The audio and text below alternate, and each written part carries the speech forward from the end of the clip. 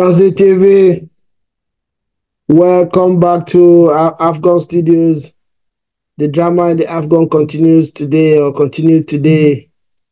Senegal, one of the favorites for this tournament, for this year's tournament, out of the Nations Cup as it's, it's called, after losing out, out in penalties against the host Cote d'Ivoire. Cote d'Ivoire, who barely made it to the knockout stages after their last game in the group stage, uh, Cote d'Ivoire players we are seeing weeping and crying. The fans were all over them. All hope was lost. Everybody thought that they were out of the tournament. But of course, football, as we know it, is a very interesting sport. Sometimes they say it's cruel. The array of stars that Senegal parades, they still lost today to, to Cote d'Ivoire, the host nation which is for me coming from experience, I believe is good for the tournament because it keeps the fans in the stadium, keeps the atmosphere good and going. Earlier in the day, we saw Cape win Mauritania 1-0 to qualify for the quarterfinals as well. And uh, with me in the studio today, as we promised in this channel, to bring you all the actions, all the analysis, information, all the, the insights that you need to know for those of you who are not able to watch these games live. Is with me, with me here is my brother Ugum, ever reliable. Ugum, you are welcome to the show. Damn, thank you, Reggie. It's wonderful to be uh to be alive. Number one, be healthy, and then be here on Tranzeet TV. So uh, we look forward to a nice show. It's been a feast of football. Uh, we just finished watching one of the best games ever in the African uh, Cup of Nations. So let's get right into it. Yeah, the first game of the day, Cape won Mauritania 1-0 in that game. Very energetic game as this tournament has been electric, end-to-end, power, energy commitment. Everything you can talk about African football was present in that game earlier today. Cape managed to edge that one and uh, run away with uh, a win with one goal. Of course, uh, we had two notable players in Cape the ranks uh, in the persons of uh, Bebe, former Man United uh, starlet, and uh, Mendes, their captain, who was very instrumental and mercurial, so to say, in that game. I don't know, what was your overall take in that game, Ugo? Everybody, uh, Mauritania was good, was good. You know, we've gotten used to uh, a high standard of of football in the AFCON. Most of the games have been really, really interesting compared to what it's been in the past and compared to what's obtainable elsewhere in the world in uh, different tournaments. It's been a tournament for the, for the so-called minnows. Uh, and that's what makes it interesting, right? When a team is expected that uh, you come in and walk over them and you see the team playing proper football, it makes for uh, you know a more interesting contest to watch. So the likes of Mauritania, the likes of Equatorial Guinea, the likes of Guinea, uh, the Congo Democratic Republic, even the likes of Zambia that have been eliminated, South Africa, all played good football, right? So uh, yeah, Mauritania against Cape Verde, we kind of expected Cape Verde to walk over them based on uh, form, but it, it turned out to be a a closer contest than we expected. And mm-hmm. were lucky to get a win in that game. Yeah, so for the teams that are going to meet uh, the team that's going to meet Cape in the next round, what would you think uh, they need to worry about? Well, um, is their mobility. You know, they are they are physical, they are very mobile, they are skillful as well. It's a case of uh, being able to match their energy uh, being able to uh, deny them spaces to play their football. Uh, you know, that's one key element of it. Don't go back and forth with them and allow all that transition uh, football that they play. So that's what I would expect their opponents to do. If you leave it to be an open game, uh, then uh, you're giving them a chance to to eliminate you. Yeah, I think I agree with you on that one. For me, what the biggest tool that they have or asset that they have is the ability to keep the ball. They they really know how they really keep possession of the game. And I think they're at the point they had almost 70% possession in that game, which tells you how technically gifted that team can be. And they play football the way it's supposed to be played with energy, with uh, charisma. They have lots of uh, skillful players. Of course, a lot of them have uh, Portuguese, uh, would I say, this uh, lineage or experience or playing the Portuguese game uh, league of uh, France. So they have the technical ability and they are disciplined to it. They are they are loyal to that pattern of play and they maintain it for 90 minutes. Regardless of what the, what the game brings, they try to play the same way, which for me is a very, very important uh, attribute of that team because they don't lose their heads to conditions in the, in games that they play, and they they keep to their to their to their style, their of their philosophy, and uh, it has brought them results so far. I mean, being the quarterfinals of uh, Afcon is nowhere. It can never be seen as a is a mere feat to achieve. So I think uh, like we have said in the past, I, I know they are one of the teams that we said going to be probably a dark horse in the tournament, and so far they have proved us right. They have moved the quarterfinals, and uh, I can't remember off of my head now who they're going to meet in the next round. And who knows, they could find themselves in the semifinals. Of course, uh, which uh, makes it interesting for the nation and uh, the player that they have as well. For me, uh, their captain Mendes was very, very instrumental to what they did today.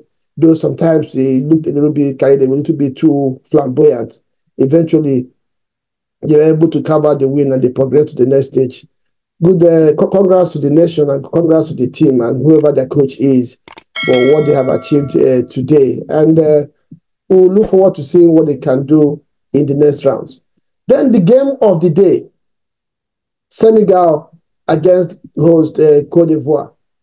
Yes, uh, in, on paper, it's supposed to be a very evenly contested game, going by the history between these two teams. These two teams have been powerhouses in African football. But this tournament so far, Senegal has had, you know, made names for themselves, have performed very well, won their first three games in the group stages. So one would have thought that they were going to run away with this one against Cote d'Ivoire, considering how Cote d'Ivoire performed in the group stages. But uh, when you find a way, when somehow you find yourself in the knockout stages, knowing that you did not perform in the group stage, most times all you have left is just to fight and try to take advantage of the situation, which Cote d'Ivoire, I think, did today. They gave it their all. Of course, we know they lost, their coach was fired, and uh, one of the assistant, uh, assistants was uh, appointed in, uh, temporarily to take the team. What a day for him today. His first senior assignment as a coach he won against a very talented, talented Senegalese team, experienced Senegalese team, defending champions for that matter. And uh, I don't care how this was done, penalties, regular time, but the truth, the, the, the, truth is that Cote d'Ivoire are in the quarterfinals of AFCON 2024. Who was your impression in this one? Man, um, this is why we watch this game. That's why they call it the beautiful game. You know, football is in just it's an incredible sport. It's it's crazy.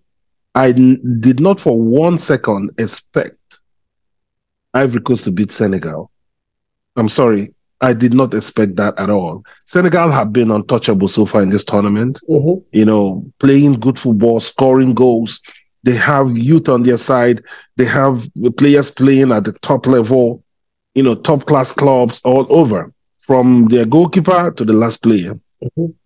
They have the benefit of experience um, of being champions, right? And they have the benefit of having a, a squad that has been together for a very long time with leadership intact, with the likes of Koulibaly and uh, Sadio Mane and Mendy, Mendy. Uh, leading the team.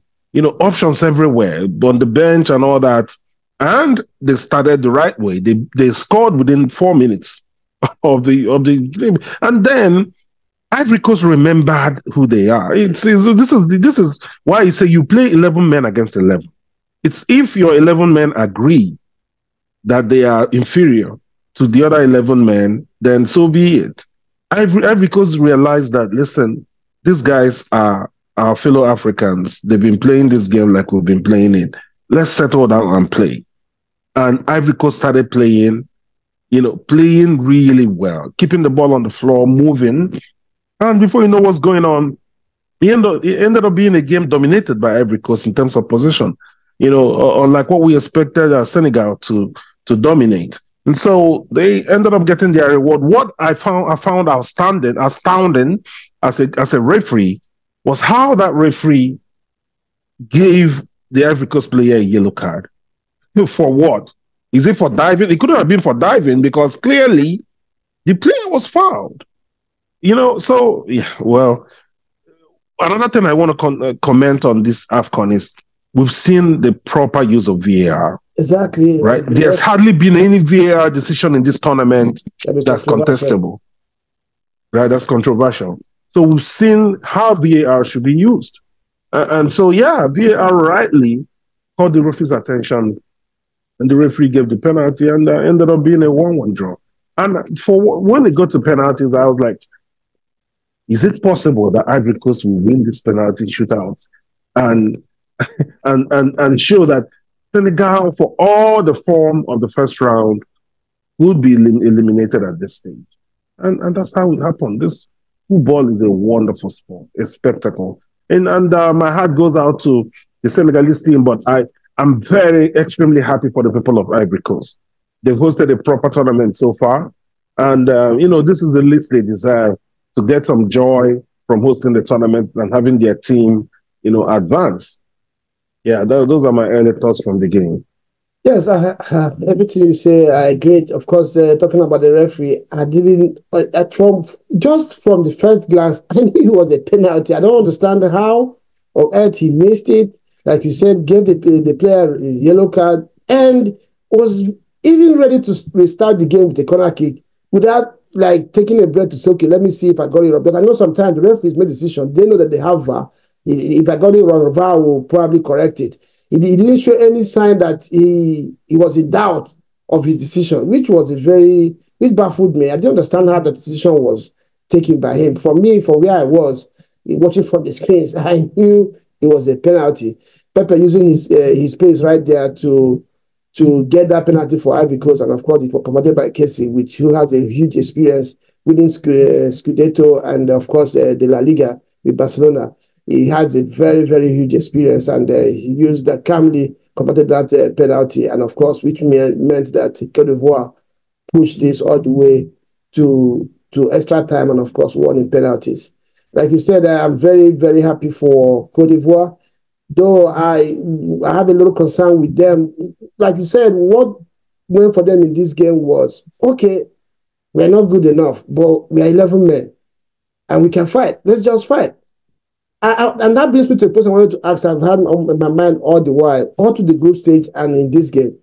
You know, you can say Fofana is a star in the Cote d'Ivoire team. Is he really a blessing or a curse? Because I see that young man, he doesn't have discipline of position, doesn't have discipline of a, a philosophy or a plan. He's all over the pitch. I know sometimes coaches give some players license to to be, have a free role, but still you have to somehow pay attention to to the shape of the team. Fofana is energetic, I know, but he I think he he runs around too much and believe and believes so much in his power that his brain and the and the technical attributes. I don't know what, if you agree with me on that one, but I, I really feel that he, with all the energy and ability that he has, he needs to be a little bit more disciplined with his positioning and uh, play. He, he tends to want to do it all by himself, and which undermines uh, the overall team plans and uh, ability. I don't know what you think. If you agree with me on that one. Yeah, I slightly I, I agree that that that's yeah that's the case, but I I have a reason for it. The reason being that he's carrying, he's been, he's been um, kind of designated as the man want to carry the weight of the nation on his shoulders. That's what he's trying to do. He, you can see, you can drop a parallel to that with Victor Osimhen. You know, uh, if not for Victor Osimhen's energy, uh, being able to, after defending and dropping, still get to the opponent's half and their and their 18 yard box and still disturb defenders. Right? He is carrying a lot. They're trying to show that he is the man and that, that he would deliver for his country. And so I think he's trying too much. I've seen him play for his club side. He doesn't play that way in his club. You know, he has a defined role and he's, he keeps on that role and makes things happen.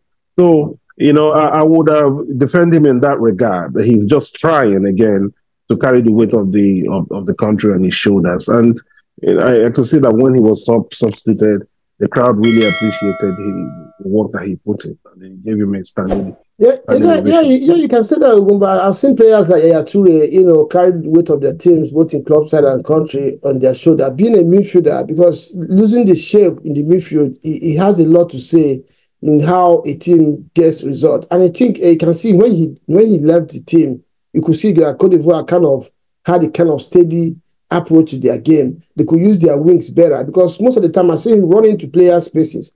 People like Pepe, you know, had enough space to to do their thing. Though, yeah, I, I, Pepe did. I won't say he did excellently well, but he did enough to to contribute his own to the, the victory the team got. So I think Fofana needs to a little bit be a little bit more disciplined in his positioning because he was just all over the place, and sometimes that uh, chokes other teammates' uh, spaces and affects their output. You know, for what the team is trying to achieve. But yes, like you said, I agree with you. His energy, the way he, the energy that he exerts in games, and the way he tried to carry the team uh, is exemplary. But uh, technically and in terms of discipline, positionally, he needs to, uh, for me, do better in that aspect and allow, you know, have confidence in his teammates and allow them to do their thing and give them options with his positioning. And uh, uh, we will not finish this one without mentioning your, your man Jackson for Chelsea. Four games, no goal, no assist, nothing. I don't know. He carried his Chelsea form into the Nations Cup. I know he's a young player. I don't know what you think. Uh, I, I, would like, I would just attribute it to. I think it's um, that Chelsea move was perhaps not the best for him at this stage of his career. He, the guy had just joined Villarreal, had just started to really um, show his presence in Europe, and he got a move to Chelsea. No, not just get a get a move to Chelsea. He also became Chelsea's uh, main man in, in attack, and that has affected his confidence. You can see, even playing in Africa, I, he didn't seem to me like someone that had the confidence to take defenders on and run into positions and hold up play very well, do link up play very well you know, watch his body language, watch the likes of Sadio Mane. The difference is like night and day. So um, I think he's growing. He's going to grow. He's going to get better um, with time. But this tournament was a bit too early for him to really make a difference, a proper difference. So yeah, that's um, uh, there's room for improvement for for for Jackson. Okay, I'll view the 34th uh, AFCON edition hosting in Cote d'Ivoire. Uh, the big question for me to you, but I don't know what your answer will be to this one. Is Mane a Senegalese legend? 100% yes. 100% yes. Um, he has helped them win the African Nations Cup. It's a very difficult uh, tournament to win, as we can see. You know, um, he's put them on the world map. He served the country really, really well. And with the way he takes care of himself and his body, he may play the next uh, uh AFCON. I see him playing the next AFCON. Why not? Uh, look at the penalty that was entrusted to him today. He came with supreme confidence and, and put it away, you know, emphatically.